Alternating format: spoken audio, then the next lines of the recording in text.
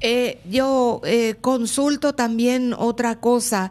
Esto que esta mañana, eh, desde su punto de vista ya como diputado de Honor Colorado y desde el punto de vista político diputado, ¿esto puede tener una connotación proselitista? ¿Puede afectar las elecciones al interior de la ANR?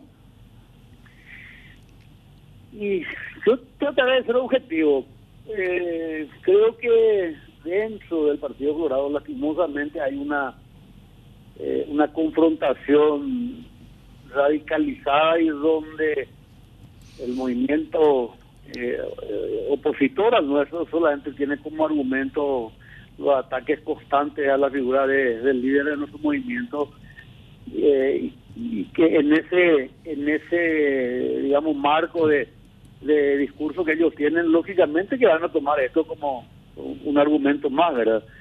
Pero yo que todo el día camino, que estoy con la gente y estoy en la calle, ahora me sacaron ustedes una un tereré con unos taxistas de una esquina acá en Encarnación. A esta gente creo que le importa muy poco lo que opina Estados Unidos, ¿verdad? La ciudadanía hoy le importa su situación, su realidad. al paraguayo eh, lo que le, preocupa en este momento es que ya no llega a fin de mes, que su salario no alcanza, que sus hijos no pueden estudiar porque no tienen posibilidad de pagar una cuota, que acude al servicio público y no encuentra respuestas para las situaciones de salud. Entonces, creo que, lógicamente, desde eh, el Palacio estarán ya peregrinando la estrategia de cómo utilizar esto, pero no creo que tenga mucha incidencia en los resultados finales de la interna. ¿Usted cree que esto, y, la otra pregunta, esto que ocurrió esta mañana, ¿usted cree que va a polarizar más aún la tensión entre los movimientos internos de la ANR? Creo que esa confrontación llegó a un punto donde ya no es posible avanzar. Nosotros ya escuchamos eh, respectivas veces eh, los discursos reiterativos de los referentes de Fuerza Republicana, así que creo que eso ya, más allá de eso, ya no va a avanzar, ¿verdad? O sea, va a seguir el mismo tenor de reiterativo de, su discurso.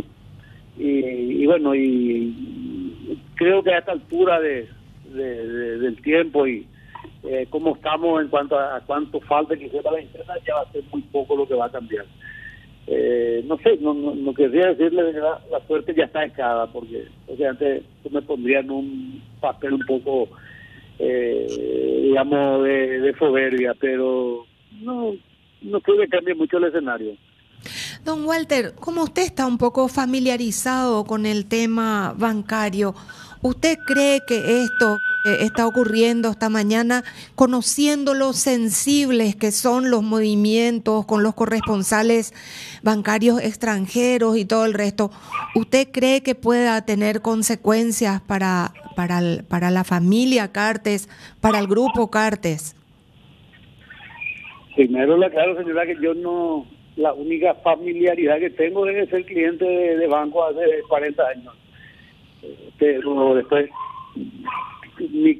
o sea, dentro de mi conocimiento, digamos, de lo que, eh, de lo que es el, movimiento bancario, es lo que conoce cualquier ciudadano.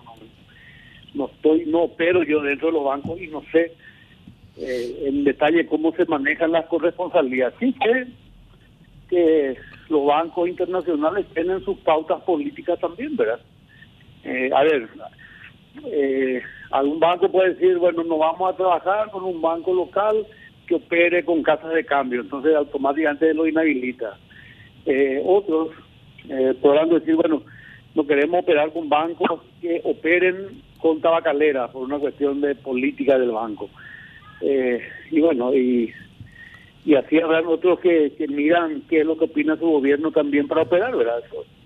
es una decisión ya de cada ente bancario internacional y de aquellos que trabajan como bancos de segundo piso, ¿verdad? No, sería irresponsable si yo opino en ese sentido. Claro. Eh, última consulta, eh, don Walter.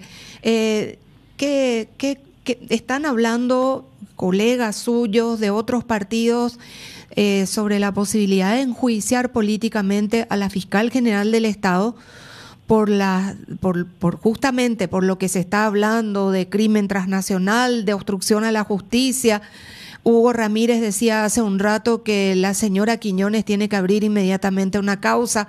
¿Qué opina sobre la posibilidad de juicio político a la fiscal general del Estado, don Walter? Primero, y con todo respeto a Hugo Ramírez, creo que ser burdo acá. Hugo Ramírez tiene a en la cabeza.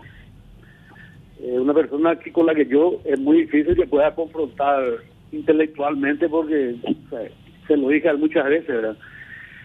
Pierde absoluta el eh, análisis objetivo de cualquier situación porque no le da la cabeza.